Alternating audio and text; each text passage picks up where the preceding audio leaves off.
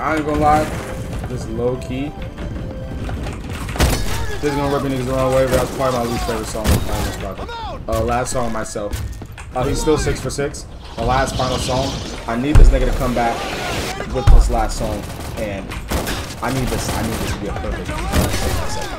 I ain't gonna lie, chat. What do y'all like more? Golden Child one or two? Oh my God. Me personally, I think I fuck with one a little more.